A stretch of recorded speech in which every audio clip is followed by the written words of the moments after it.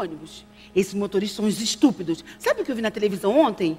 Uma senhora subiu ao ônibus e o motorista arrancou com tudo. Ela quebrou a perna. Pronto, pronto, pronto, pronto. Dá licença? Olha, ainda bem que a atendente atendeu rapidinho a gente e deu tudo certo. Ó, deixa ele comer agora, porque ele vai trabalhar e empregado que chega atrasado no trabalho. No primeiro dia não dá certo. Isso não deixa ele comer. Não dá certo mesmo. Olha, tá bom? Não, não, come, come rápido aí. Meu filho, lembre-se, você tem que comer de três em três horas. A doutora Vanessa falou que você está em fase de crescimento. Hã?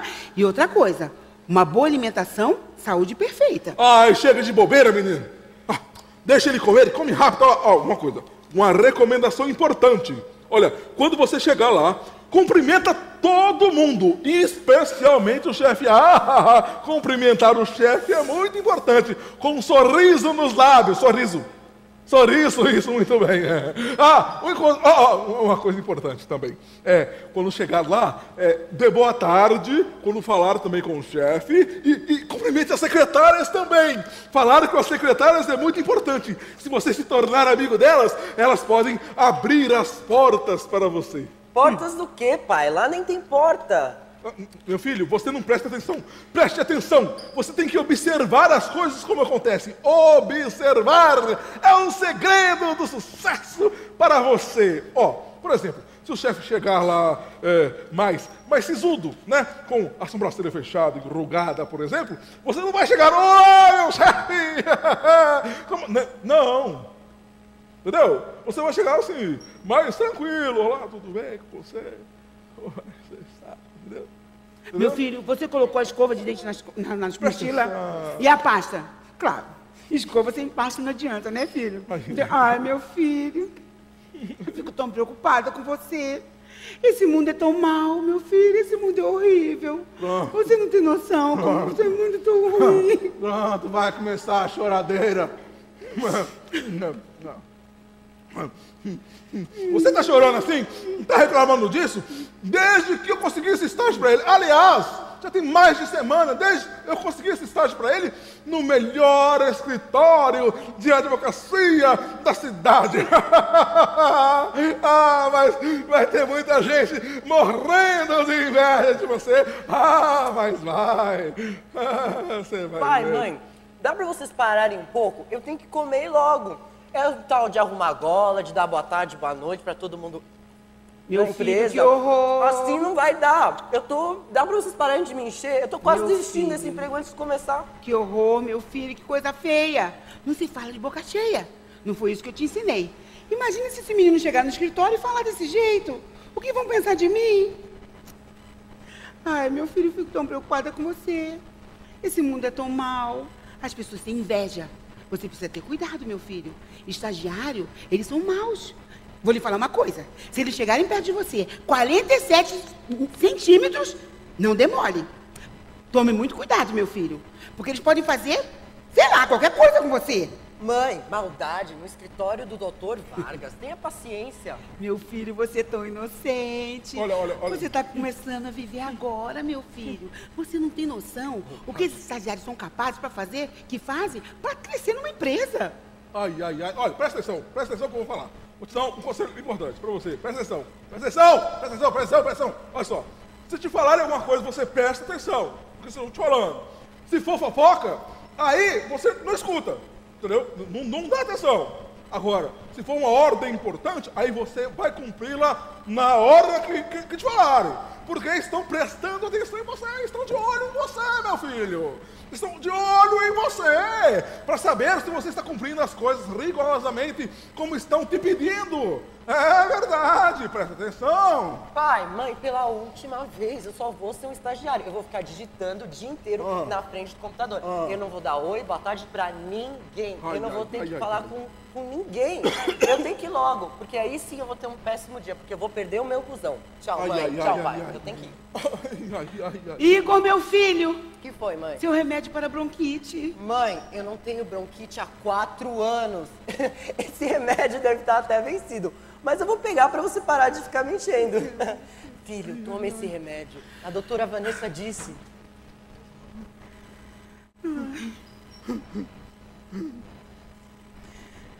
Que isso, homem? Eu tô preocupado. Será que. Será que ele vai ser um bom funcionário? Será que ele vai fazer tudo direitinho? Será que, que ele não vai chegar atrasado? Será que ele vai se alimentar direitinho? Será que ele vai seguir todas as, as recomendações que eu passei para ele? Inclusive Ai, aquela de, de puxar o saco do chefe? Ai, que medo, que medo. Será que ele vai ser assaltado? Ai. Aquela mochila nas costas chama muita atenção. Será que ele vai ganhar dinheiro para já comprar as coisinhas dele e parar de, de pedir dinheiro para mim, que eu já estou cansado disso. Né? Ai. ai. Olha, como como que filho não é preocupação para a gente, né? São, são, são tantas coisas que podem acontecer, não é? Ai, se continuar assim, eu acho que eu vou ficar louco. Você já é louco. Não. não. Célebre frase. Filho criado. Trabalho dobrado. Como é bom poder revê-los novamente após mais uma semana. Eu espero que cada um tenha passado bem esses últimos, esses últimos dias. Bem-vindo à Nova Semente, uma comunidade adventista do sétimo dia que existe para que você e sua família possam, aqui entre nós, ter uma experiência real com Deus. Nós estamos chegando hoje à metade da série atual de mensagens intitulada Pater Remon, onde nós juntos estamos analisando a mais conhecida prece cristã, o Pai Nosso. Por sinal, essa é a tradução em português do título da série, Pater Remon.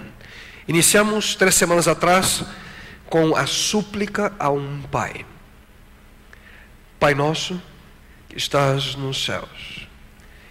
E naquele final de semana nós falamos sobre a importância de reconhecer Deus como um pai. Um pai de amor que verdadeiramente se importa com cada um de nós. Vimos que muitas das dificuldades que alguns enfrentam em relação a Deus são resultados das dificuldades que viveram ou deixaram de viver com o seu pai. É uma tendência natural transferir as imagens e experiências que tivemos com nosso pai, colocando-as sobre Deus.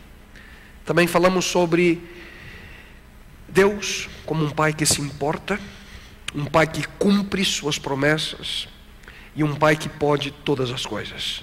Na semana seguinte, nós falamos sobre a súplica de reconhecimento e nela a importância do nome de Deus. Santificado seja o teu nome.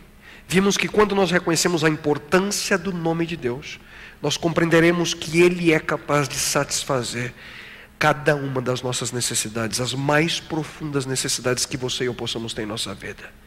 Porque Ele é, queridos, maior bem maior que os nossos maiores problemas. E também vimos que Ele nos chama para que possamos fazer parte da Sua família. E na semana passada nós estudamos sobre a súplica de aceitação, a súplica de entrega. Venha o teu reino, seja feita a tua vontade, assim na terra como nos céus. Vimos quais são os reais resultados de uma vida de entrega plena a Deus. Como soltar o controle da nossa vida. Como aprender a viver com alegria. Como confiar nos planos de Deus e deixar o nosso futuro nas mãos do Criador, nas mãos do Pater Remon. Se você não esteve conosco durante essas últimas semanas e gostaria de ouvir ou assistir às mensagens anteriores, você pode acessá-las no nosso website www.novasemente.org. Mas hoje, queridos, nós vamos focar nossa atenção naquela que poderíamos chamar como a súplica de dependência, que está exatamente no verso seguinte: O pão nosso de cada dia nos dá hoje. Pão.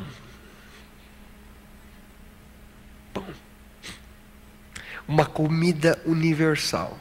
Aonde quer que você vá nesse planeta, de uma forma ou outra, você encontra pão. Em cada país, em cada nacionalidade, em cada cultura, existe pão. Por que isso? Hein? Muito provavelmente porque é fácil o pão ser feito. Se você mistura farinha, água, um pouquinho de óleo, uma pitadinha de sal, tem um pouquinho de fogo, pronto, é o que você precisa para ter pão. Alguns dos tipos mais populares que conhecemos incluem o, o baguete é, crocante da França, o pão pita, ali dos países árabes, a tortilha do, do México, que pode ser recheada com qualquer coisa, você decide o que você põe dentro. Panetone doce da Itália, o nosso amado pão de queijo. Estou vendo aqui nos olhos de alguns, alguns estão com fome, né? Algumas semanas atrás eu estava no, em, no México. Passei por duas semanas lecionando uma matéria lá numa universidade e foi uma experiência nova para mim.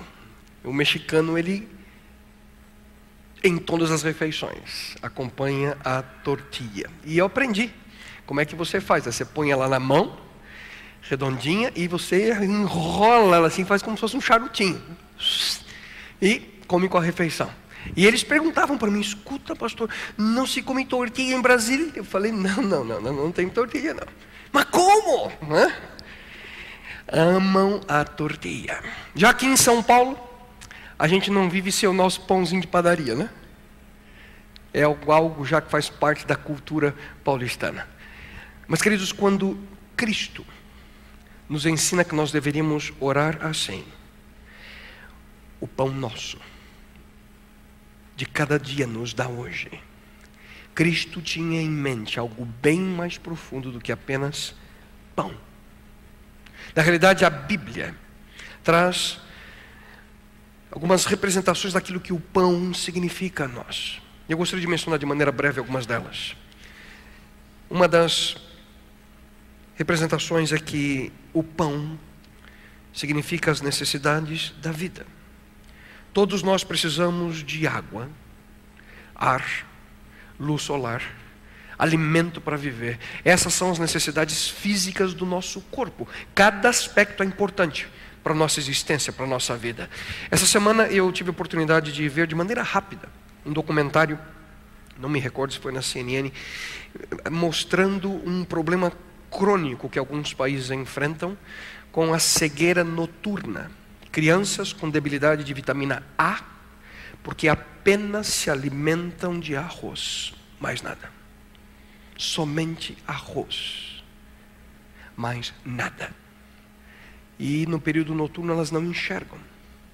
E é uma preocupação que algumas organizações hoje têm poder auxiliar essas crianças nesses países. Nós, como um todo, precisamos de todas as vitaminas para viver bem. E a realidade, queridos, é que Deus ele nunca cria algo sem proporcionar tudo aquilo que as suas criaturas necessitam. Ouçam com atenção o que encontramos no livro dos Salmos. Todos, animais e homens, dependem de ti para receber seu alimento na ocasião certa. Tu ofereces o alimento e eles recolhem o seu sustento. Esse é o processo Deus provê, nós buscamos. Quando Cristo ora, dê-nos nosso alimento diário. Não significa que nós temos que, ou podemos ficar, ou devemos ficar sentados no sofá vendo TV, no aguardo da comida. Apesar que, de vez em quando, não é nada mal, né? Ouviram esposas? Mas a Bíblia afirma: quem trabalha com dedicação sempre terá o seu pão. Mas quem prefere se juntar aos malandros desocupados acabará passando fome. Provérbios 28, 19 na Bíblia Viva. Portanto, primariamente, o pão representa as necessidades da vida, aquilo que nós necessitamos para viver. Mas, além disso, há uma implicação espiritual, uma segunda é, representação de pão na Bíblia. Ele representa a palavra de Deus, a Bíblia. A palavra de Deus, queridos, é o pão espiritual para a nossa vida. E o próprio Jesus Cristo afirmou, citando o Antigo Testamento, mais precisamente o livro de Deuteronômio, no capítulo 8, versículo 13, Cristo disse: Está escrito, não só de pão viverá o homem, mas de toda palavra que procede da boca de Deus. Jesus tinha em mente, quando ele menciona isso, a experiência dos israelitas quando saíram do Egito após mais de 400 anos de cativeiro. E eles foram alimentados de maneira sobrenatural por Deus durante 40 anos, ao estarem ali peregrinando pelo deserto, alimentados através do maná. Maná. Por sinal, a palavra maná significa o que é isso? Porque com certeza a primeira vez que eles viram maná, fizeram, sabe o que é isso? E ficou sendo assim, maná. E eles foram se alimentados por Deus até o momento que eles chegaram na terra prometida, na Palestina. Por 40 anos o povo de Israel foi assim alimentado. Eles comeram, o que, que é isso? Por 40 anos. Café, almoço e janta. Omelete de maná maná assado, maná frito, maná cozido, lasanha de maná, mingau de maná, farinha de maná, biscoito de maná, maná com chá. Você pensa aí, tudo com maná, 40 anos. O que Deus queria dizer com isso é que nós, como seres humanos, nós precisamos mais do que apenas pão para viver. Temos também que alimentar nossa alma com a palavra de Deus. Nós precisamos, portanto, do alimento espiritual, da orientação revelada de Deus para a nossa vida. Nós precisamos, queridos, da verdade em nossa vida para viver.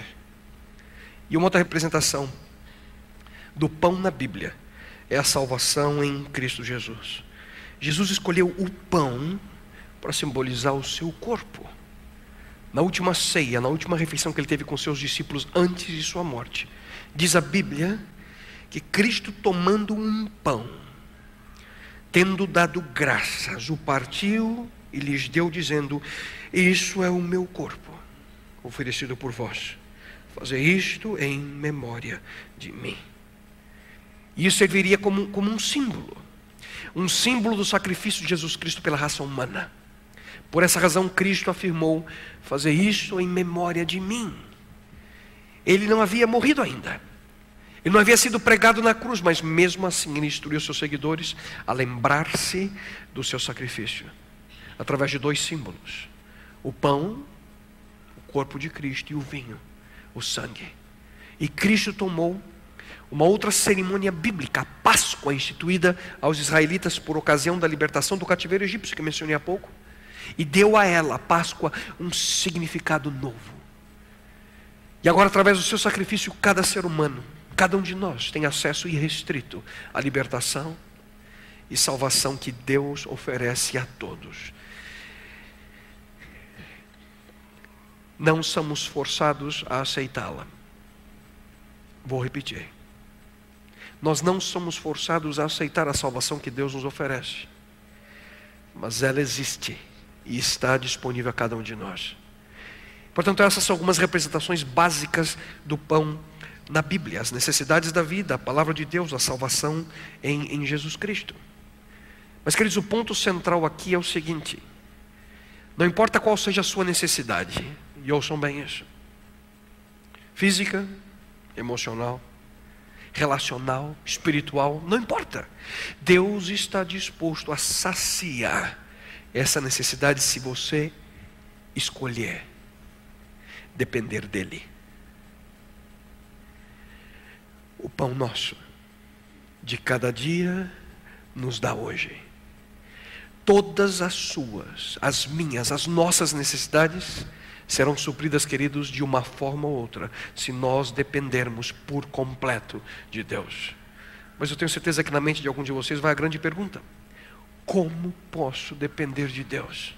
O que, que realmente significa depender dEle? Que ele significa dar ao menos três fundamentais passos na nossa vida.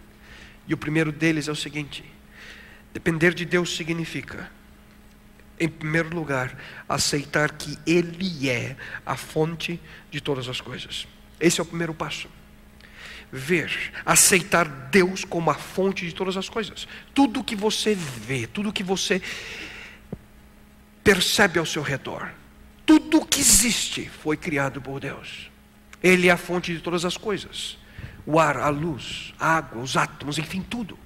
E aqui é importante nos lembrarmos de alguns pontos. Queridos, Ele é a fonte de todas as coisas. E tudo aquilo que existe é um presente de Deus. Tudo vem de Deus. Nada que você tem ou você recebe veio por você mesmo. O que, que você fez para merecer o ar?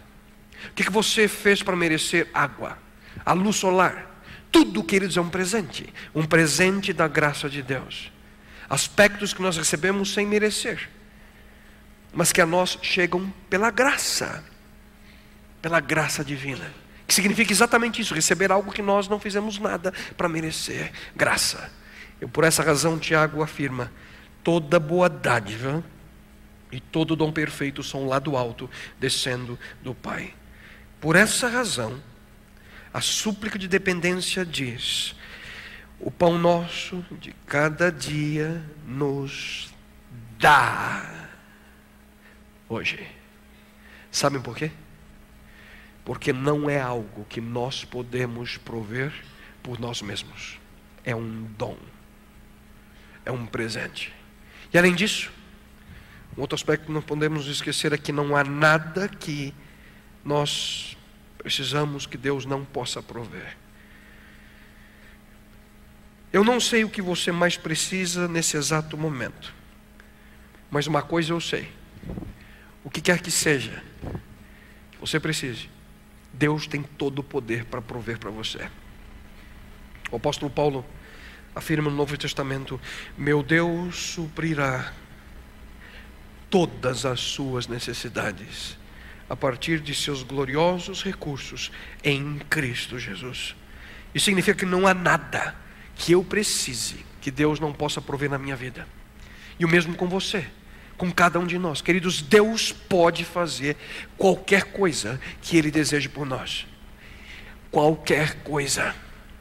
E outro aspecto que não podemos esquecer é que Deus está sempre disposto a dar o melhor para os seus filhos, para os seus filhos. Todos nós precisamos ter isso bem claro na nossa mente. Deus é um Deus que ama dar. Ouçam com muita atenção. Qual de vocês, disse Jesus Cristo, qual de vocês, se seu filho pedir pão, lhe dará uma pedra, ou se pedir peixe, lhe dará uma cobra? Se vocês, apesar de serem maus, sabem dar boas coisas aos seus filhos, quanto mais o Pai de vocês, que está nos céus, dará coisas boas aos que lhe pedirem.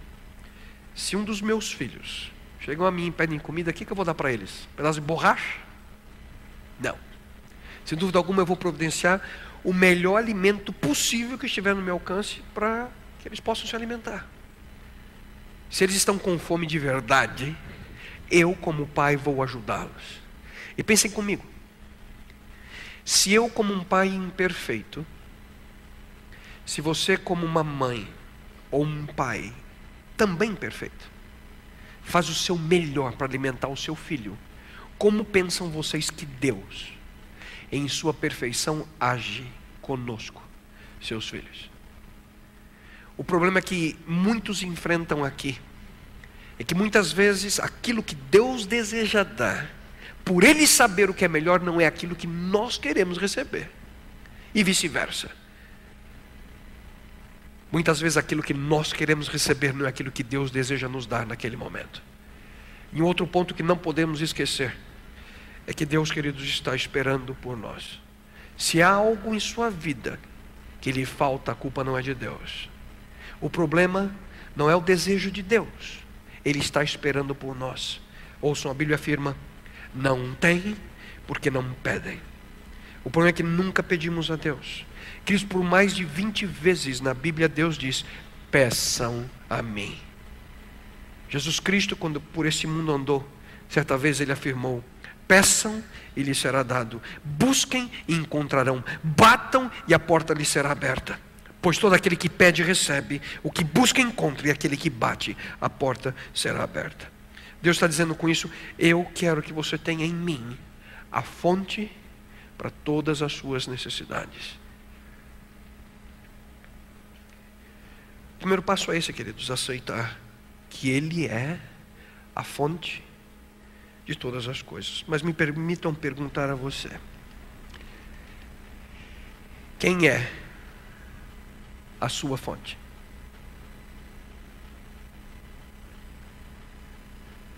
Para a sua segurança, para a sua felicidade familiar, para a sua estabilidade financeira para os seus negócios, para a sua saúde, enfim, para tudo aquilo que você é, tudo aquilo que você tem, de onde ou de quem você busca forças para prosseguir. Brasília? Espero que não. Bovespa? É o seu emprego? Sua conta corrente? Seu sobrenome? Sua religião? Onde ou em quem você busca direção para a sua vida? O que ou quem é a fonte? Queridos, somente Deus pode suprir todas as suas necessidades por uma única e simples razão. Ele é a fonte de todas as coisas. E além disso, um segundo passo fundamental para depender de Deus passa a partir do momento que nós tomamos uma decisão, uma escolha, a escolha de confiar nele a cada dia, não no próximo ano, não no próximo mês, não na semana seguinte, mas um dia de cada vez. Deus nos diz: Eu quero que você leve a sua vida em pequenos pedacinhos de 24 horas. Quero que você confie em mim hoje. E percebam, queridos, que a Bíblia não diz o pão nosso de cada mês nos dá hoje. Não. Também não diz o pão nosso de cada ano nos dá hoje. Não, não, não, não. É uma questão diária. Não é semanal, não é mensal, não é anual. Deus deseja que nós Confiemos nele um dia de cada vez. Na verdade, ele, ele deseja que a nossa confiança nele seja por toda a nossa vida, a cada instante, mas em incrementos de 24 horas. Eu sempre gosto de dizer: um dia de cada vez, cada dia com Cristo. Mas como que nós podemos fazer isso? Como podemos confiar em Deus por apenas um dia? o pão nosso de cada dia nos dá hoje.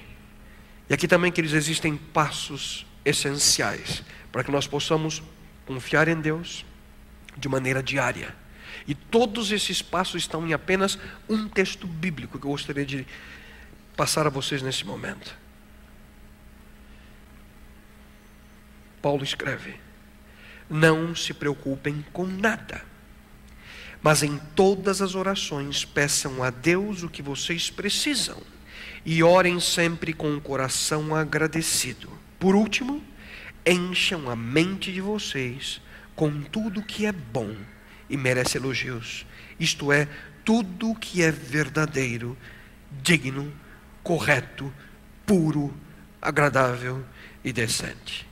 Quais são os passos? Recapitulando o texto que acabamos de ler, não se preocupar com coisa alguma. Esse é o primeiro passo. Diz o texto: não se preocupem com nada. Não se preocupem com nada. O que Deus está dizendo aqui é não se preocupe com coisa alguma. Mas eu vou ser bem sincero com vocês. Esse é muito provavelmente o comando, a ordem mais difícil de ser colocada em prática em toda a Bíblia. Não se preocupar com coisa alguma. Porque a preocupação é um problema tão grande assim. Por quê? É que ela não é apenas um hábito mau, não. É um pecado. Preocupar-se é viver em pecado. Por quê? Porque viver preocupado é duvidar do poder de Deus para reverter as situações da nossa vida. Se meu filho chega para mim e diz, pai, eu estou preocupado se nós vamos ter o que comer hoje. Pai, estou preocupado, onde é que a gente vai dormir hoje? Onde é que a gente vai jantar? Se teu filho chega para você e faz esse tipo de pergunta, como é que você se sentiria? É da mesma forma que Deus se sente. É como se nós disséssemos: Deus, o negócio é o seguinte, no fundo, fundo, no fundo, no fundo, eu não acredito inteiramente em ti, não. Preocupação. Queridos, preocupação é uma expressão prática daquilo que nós chamamos de ateísmo. Acabamos de ler. A Bíblia afirma: não fiquem preocupados com o dia de amanhã. Deus cuidará do dia de amanhã para vocês também. Já é suficiente a preocupação de cada dia.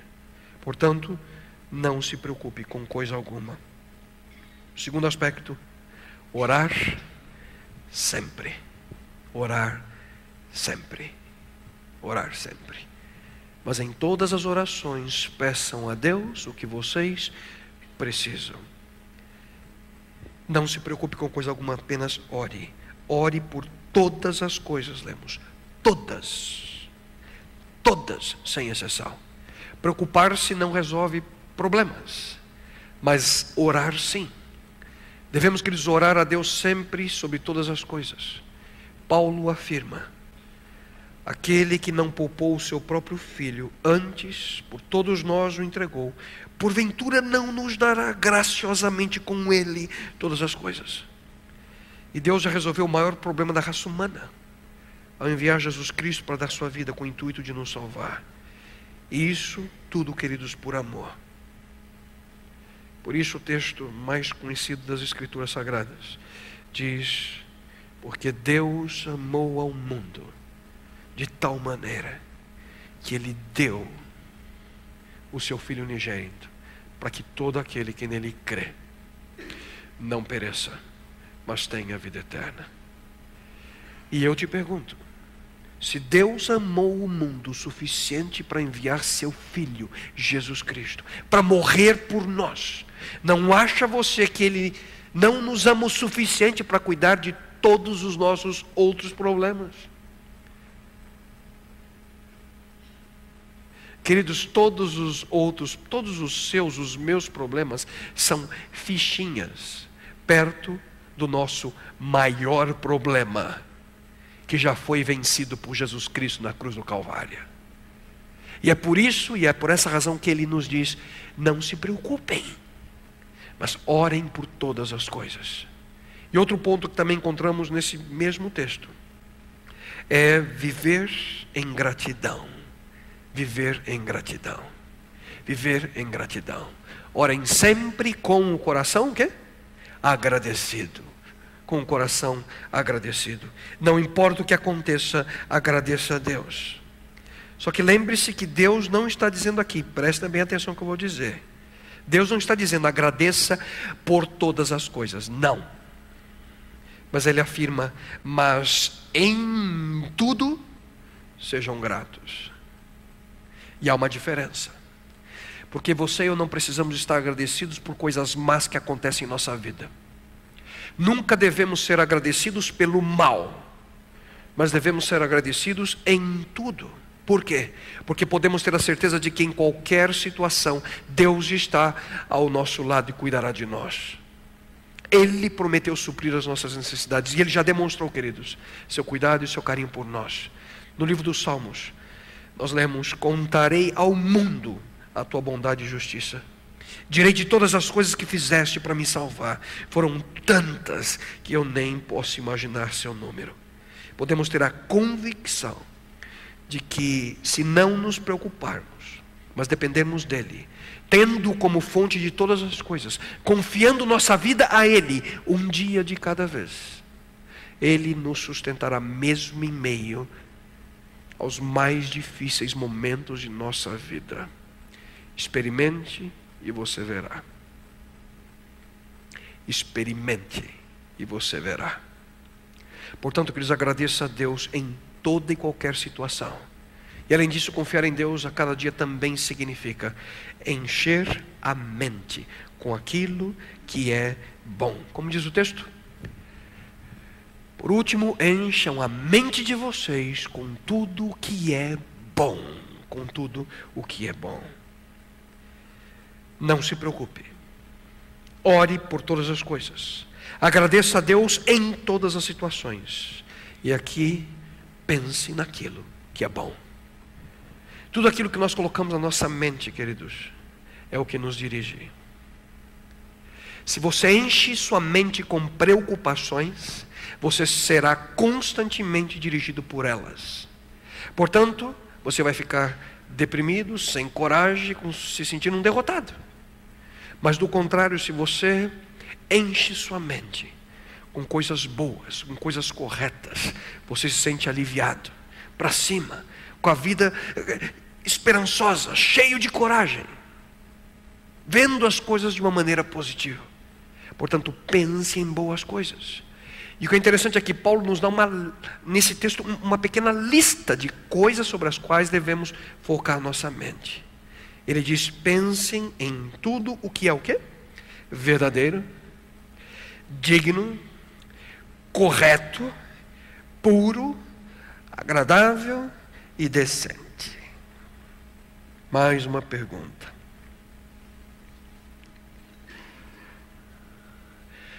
Onde pensa você que você encontrará coisas verdadeiras, dignas, corretas, puras, agradáveis e decentes, que farão isso com a sua mente? No cinema? Não creio. Quer que eu repita? Só para você se lembrar. Tudo que é verdadeiro, digno, correto, puro, agradável, decente. É na novela das oito? Muito menos. em qualquer livro? Talvez alguns aspectos, mas nunca todos. Aonde afinal nós podemos encontrar pensamentos que são verdadeiros, dignos, corretos, puros, agradáveis, decentes? Aqui, queridos no pão de Deus para nós, na Sua palavra. Aqui está a verdade. E a Bíblia afirma, a Bíblia afirma a nós que o Senhor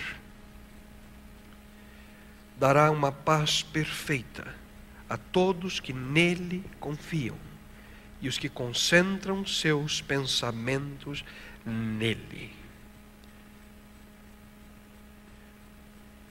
Os que têm seus pensamentos concentrados nele, em Deus. Você tem seus pensamentos concentrados em Deus? Ou você só pensa nele nessa hora e pouquinho que você passa conosco no sábado? Aonde que os seus pensamentos estão constantemente focados? Na veja na exame, na caras. Tem misericórdia. Será que seus pensamentos estão, queridos, constantemente focados em agradar, quem sabe, outras pessoas? Sua família, seus amigos, seu chefe? Você quer saber qual é a resposta? É simples. Em que, que você mais pensa? Deus nos afirma que se queremos aprender a confiar nele, a cada dia devemos pensar em Sua palavra e tudo aquilo que enobrece a nossa mente. Resumindo o que vimos até agora, depender de Deus de maneira plena significa, queridos, aceitar que Ele é a fonte de todas as coisas. Significa confiar nele um dia de cada vez. E para concluir, compartilhar aquilo que Ele me dá. Depender de Deus também significa compartilhar aquilo que Ele provê para cada um de nós. Quando Deus nos dá algo, Ele sempre deseja que nós tenhamos a boa vontade de compartilhar com outras pessoas. Lembrem-se daquilo que Cristo não disse. O meu pão de cada dia me dá hoje. Jesus disse: o pão nosso de cada dia nos dá hoje. Devemos compartilhar. Mas por que, que Deus quer que nós aprendamos a compartilhar? Para que nós possamos ser como Ele é. Porque Ele compartilha, queridos, tudo conosco, tudo que Ele possui. Deus é generoso. Deus amou o mundo de tal maneira que Ele deu. Ele deu.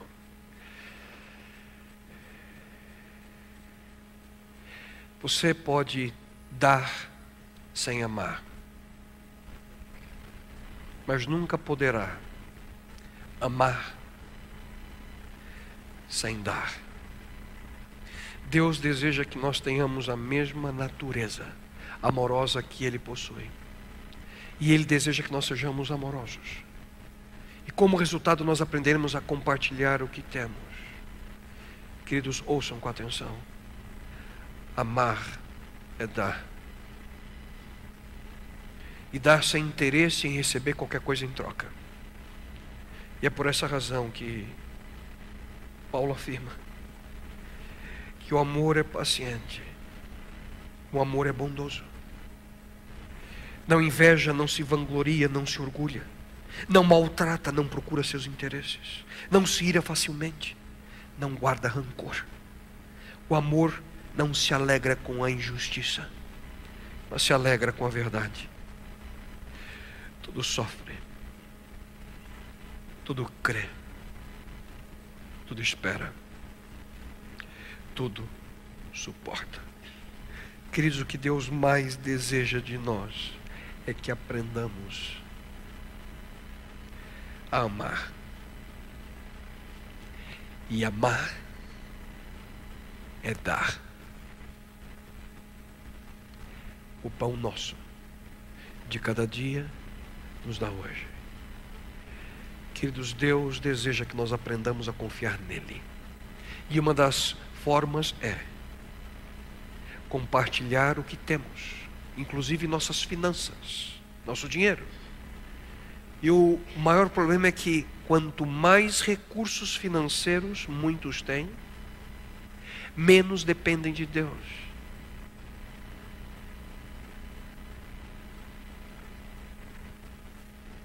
Você não depende de Deus se você pode colocar no cartão de crédito. Você não precisa nem sequer orar para isso. É só você dar o Visa ou Mastercard. Para muitos, queridos. O dinheiro que possuem é o que é mais importante. E quanto mais tem, menos dependem de Deus. Quanto mais tem, mais dependem de sua conta bancária depende dos seus investimentos, dependem daquilo que possuem. E é por essa razão que Jesus disse: é mais fácil passar um camelo pelo fundo de uma agulha do que entrar um rico no reino de Deus. Queridos, vocês entendem? E aqui não critico a você que, quem sabe, esteja conosco e possui recursos financeiros. Não é um dom, é um presente. Lembram-se? Tudo que existe, Deus é a fonte de todas as coisas e Deus lhe deu um dom, algo especial. Mas a questão é essa: dependência. Você depende de quem? E é por essa razão também que diz que a Bíblia diz que o pobre é rico em fé. Sabem por quê? Porque você não sabe que Deus é tudo o que você precisa até o momento em que Ele é tudo o que você tem. Porque quando você não tem coisa alguma, quando você é realmente pobre, sem casa, sem roupa, sem comida, sem qualquer outra coisa material, você depende de Deus para o seu pão diário. O pão nosso de cada dia nos dá hoje. Que eles ouçam com atenção. Quanto mais você doa em sua vida, mais você é abençoado por Deus. Quanto mais você doa daquilo que você tem, mais você será abençoado por Deus. Queridos, esse é um princípio da vida humana. Deus afirma: quem reparte generosamente seus bens com outras pessoas se tornará cada vez mais rico. Quem procura segurar mais dinheiro do que necessita acabará perdendo tudo. Quanto mais você doa, mais você é abençoado por Deus. Isso nada mais é do que a experiência de depender dEle. Aprender a depender completamente de Deus.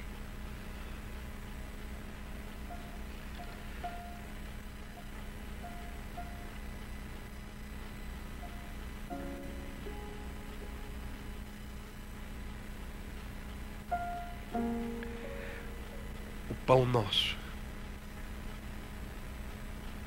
de cada dia nos dá hoje. A súplica de dependência. Nessa simples frase, nós encontramos, queridos, profundos princípios de vida para a nossa jornada nesse planeta. Em primeiro lugar, depender de Deus significa aceitar e viver a realidade de que todas as coisas vêm de Suas mãos. Deus é a fonte de todas as coisas. Mas o nosso maior problema é quando começamos a viver dependendo não da fonte, mas daquilo que a fonte proporciona. Afinal, onde é que está o teu coração? Em Deus ou nas coisas que Ele te concede? Em Deus? Ou somente naquilo que materialmente você consegue discernir ao seu redor? Além disso, também vimos que depender de Deus significa confiar constantemente nele. Um dia de cada vez. E como eu gosto de dizer isso, um dia de cada vez, cada dia com Cristo. E aqui, queridos, nós encontramos mais uma vez o, o poder desse momento. Eu já disse a vocês anteriormente que o momento mais precioso da nossa vida, da sua vida, da minha vida, não é o passado. Não foi ontem. Não foi há um mês atrás, há um ano, dez anos atrás. Não, não, não. E o momento mais importante da sua e da minha vida não é o futuro. Não é o amanhã, daqui uma semana, daqui um ano, não. Nosso maior e mais precioso momento é esse. Aqui e agora, por uma simples razão. Esse é o único momento que nós possuímos. Passado já se foi, o futuro não chegou. Portanto, nada melhor do que viver tudo aquilo que você possui. Esse momento, o momento da interseção da dimensão humana com a divina. Esse momento com Deus. E nada melhor do que viver essa experiência de dependência com o coração repleto de amor. O amor que nos leva a compartilhar tudo o que temos, o que somos, tudo aquilo que nós sonhamos. O amor que emana de Deus. O Deus que tanto te ama. E o Deus que deseja que você assim viva. que ao orar a oração do Senhor, o Pater Remon. Cada vez quando você disser essa frase, o pão nosso de cada dia nos dá hoje. Que você possa se recordar desse momento. Dependa de Deus. Confie nele. E tudo aquilo que você necessita da sua vida, Ele por você, por você fará. Pai eterno. Ah, Senhor, quão difícil é para nós aprender a depender. Talvez seja essa a maior lição que Jesus Cristo tentou nos ensinar nessa preciosa oração. Olhar para Ti como um Pai, colocando Tua vontade em primeiro lugar, entregando nossa vida a Ti aprendendo a depender completamente de Ti. Senhor, nesse momento eu quero suplicar a Ti o perdão. Peço perdão, Senhor, pela minha própria vida, pela vida de cada pessoa que aqui se encontra nesse momento, por aqueles que terão a oportunidade de ouvir essa mensagem ou estão assistindo nesse momento, a que possam perceber no passado todas as situações que tentaram controlar tudo com suas próprias mãos. E que hoje, que nesse momento, Senhor, possamos aprender, Senhor, a depender completamente de Ti. Possamos vê-lo como a fonte de todas as coisas. Possamos, bom Deus, decidir, escolher confiar em Ti.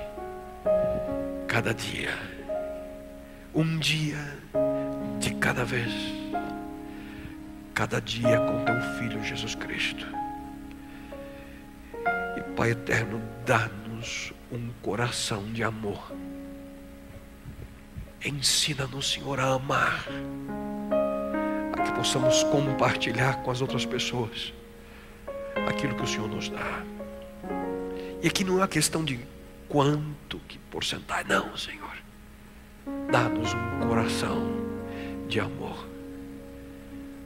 Porque não temos dúvida que quando isso ocorrer na nossa vida, tudo aquilo que faremos, nada mais é do que o resultado da tua presença, da tua essência que é amor, porque tu és amor em nossa vida. Despede-nos, Senhor, em tua companhia. Proteja-nos, Senhor, dá-nos uma semana de vitórias ao teu lado. E ensina-nos, Senhor, a depender de ti. Ensina-nos, Pai a depender de Ti. Pão nosso de cada dia nos dá hoje.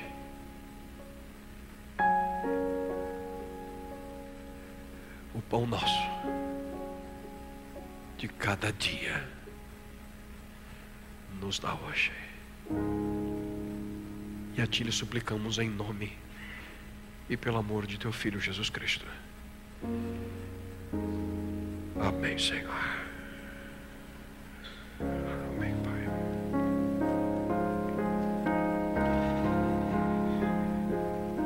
Que Deus brilhe em tua vida. Que Deus possa acompanhá-lo. Tenham todos uma maravilhosa e linda semana. Nos vemos no próximo sábado, ao darmos prosseguimento à série Pater Remon. Que Deus abençoe.